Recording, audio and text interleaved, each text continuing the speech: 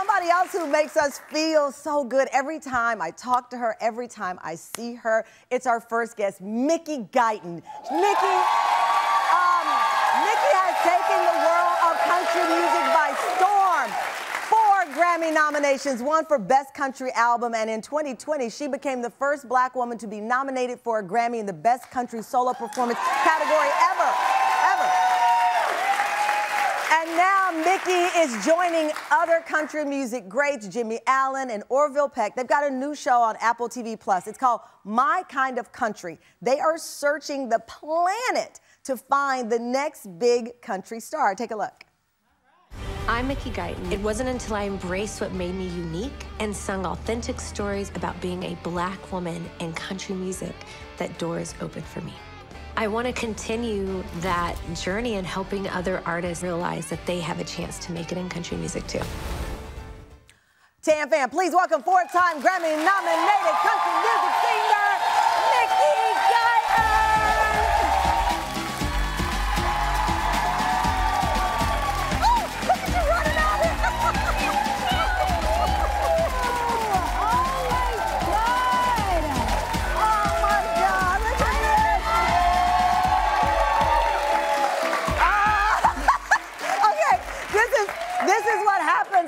two Texas girls in the same room. Yes.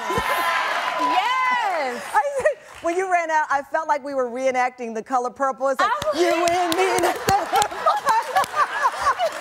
oh my God.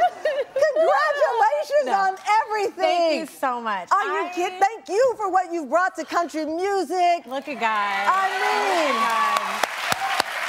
I'm just, first of all, I just adore and love you. Oh. And thank you for being such a supporter of me and so many other uh, marginalized country artists that are pursuing country music. Like you are opening the doors as well. So thank you. Oh, please. I, I just, I'll tell you. I'm inspired by you. That's you were Time Magazine's Breakthrough Artist 2022. And so the premise of this show really is you're scouting.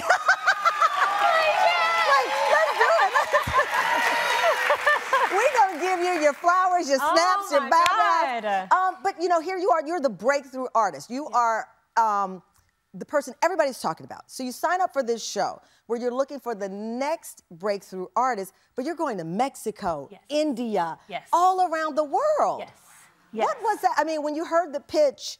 I know you, so I, I know it had to do be like. I have a pulse? yes, I will do this. I, it was like a no-brainer because I was already trying to do that in my own career is trying to open the doors for other artists. So this is on such a larger scale and on such a, a it's like globally giving the opportunity for everybody to sing country music and we love country music right well music should speak to your it's like food yeah. right you yeah. want to learn something about somebody go to their house and have a meal yes you know music exactly. is that connective exactly. tissue for everyone exactly. reese witherspoon and kacey musgrave yes. they're executive producers yes. of the show but the stars are these people from around the world yes. so so okay, they say like blues, country music, it's heartbreak. Yes.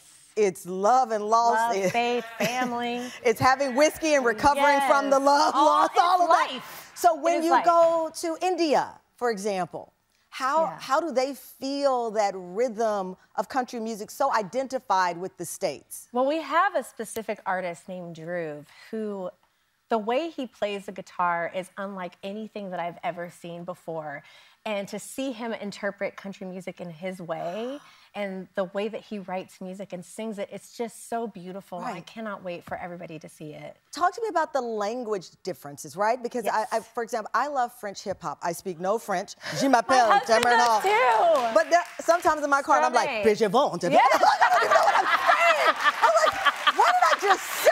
Great, Don't know what I don't saying. Know what I said, yes. but I'm saying it. So when you're there and someone is pouring their heart out in a different language, yes. and you don't know what they're saying, but you can feel you can it. Feel you can feel it. it. You can feel it. Like music is so crazy because you can hear just music and not have any words, and it still moves you. Yeah. And to hear, you know, yes, yes. and, and to hear these artists, like we have one artist named Wandile, who's yeah. from South Africa, who sings a song.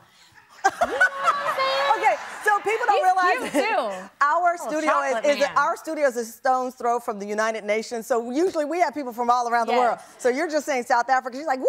probably from Yes. South Africa. There's, there's so many amazing artists Yeah. in South Africa that love country music that aren't getting these opportunities. Wow. And that's what makes this show so special because there are artists out there that have had such an affinity for country music that never got the but opportunity never got the to do shot. So J- Jimmy Allen, who's also a friend of our show, Yes. Orville Peck. Crazy everyone Jimmy sees Allen. your. I know Kitty is hilarious. He is. Uh, Jimmy's hilarious. Um, He is. You have uh, people Peck. watching your huge success, Yes. and the, but you also talk and you always keep it real about the challenges, right? It wasn't a cakewalk. You didn't walk in the door and everybody No. said, "Okay, this is going to be the greatest No. thing to happen to country Yes. music in a very long time," and you open up about that. Let's take a look. Jimmy Allen, It took me 11 years to get a record deal. I lived in my car. Mickey Guyton, I was the first black female solo artist to earn a Grammy nomination in a country category. Orville Peck, My mask allows me to be more vulnerable and share my perspective as a gay country artist. I mean, so.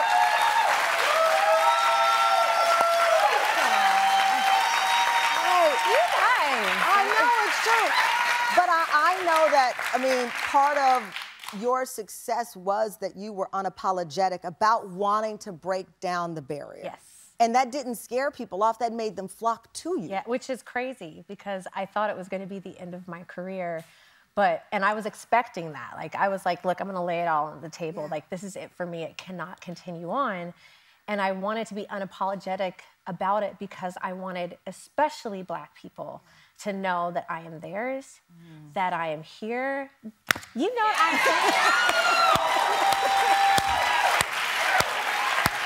and that I support the cause and I support, you know, diversity, equity, inclusion in all genres. And now you're opening up not just in the States, you've now opened the international doors to finding the next big person in country music. Yes. I love this show. I love it. It's- it's so it's gonna be beautiful.